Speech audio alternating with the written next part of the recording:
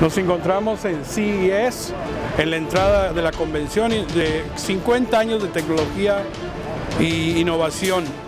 Muy pronto estaremos entrando y mostrándoles algo de la nueva tecnología.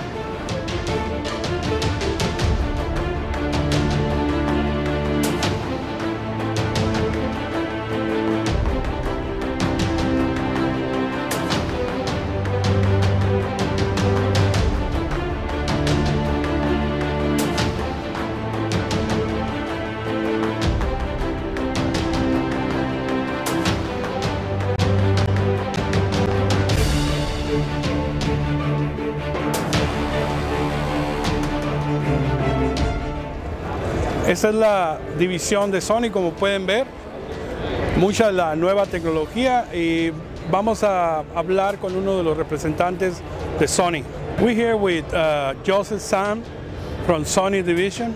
Can you tell us a little bit about the new technology? Absolutely. So we're introducing here at CES, we've got two, really two introductions this year. First, in our LCD lineup, we have our new television, the X930E and the X940E. Now these are really continuations of a design we introduced last year, but with some big changes. We introduced a brand new processor, the X1 Extreme processor chip.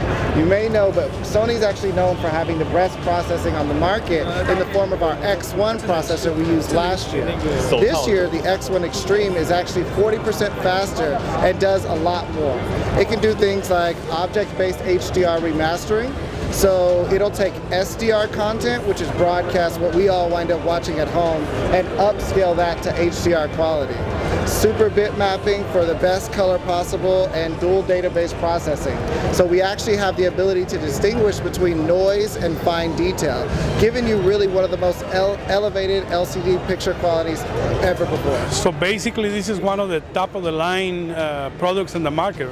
Yes, this the X1 Extreme processor makes this one of the best TVs on the market, especially for customers that are going to be watching all kinds of content, sports, broadcast, 4K Ultra HD movies, this television can do everything.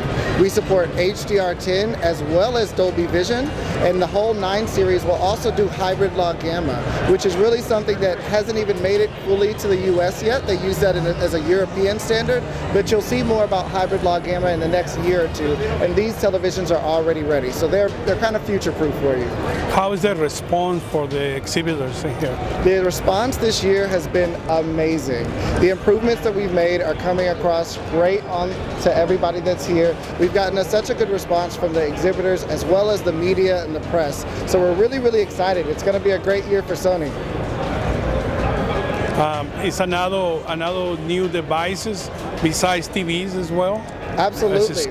We have a lot of new devices. We've got we're introducing um, TVs, as I said. We have got a new front projection, the VPL 1000 ES, which is a short throw projector that can do a 120 inch screen sitting just six inches away from the wall. So it's not rear firing. You no longer have to have your projector in the back of the room firing through with people walking through the light. Now you could just put the projector six inches away from the wall and get a full 120 inch 4K and 4K HDR screen. We've got some really cool LifeSpace UX products. If you check out the back of the booth, we're introducing some prototype concepts. One of which is a new projector. It's a touch projector that actually projects a Android tablet onto any surface. Oh, wow. You can put it on a table, on a wall, and then with it, you can actually search the web. You can control your home lighting system because it does full um, Zigbee and Z-Wave. So you can lock your doors, you can dim the lights, all by using just the tablet, the display on your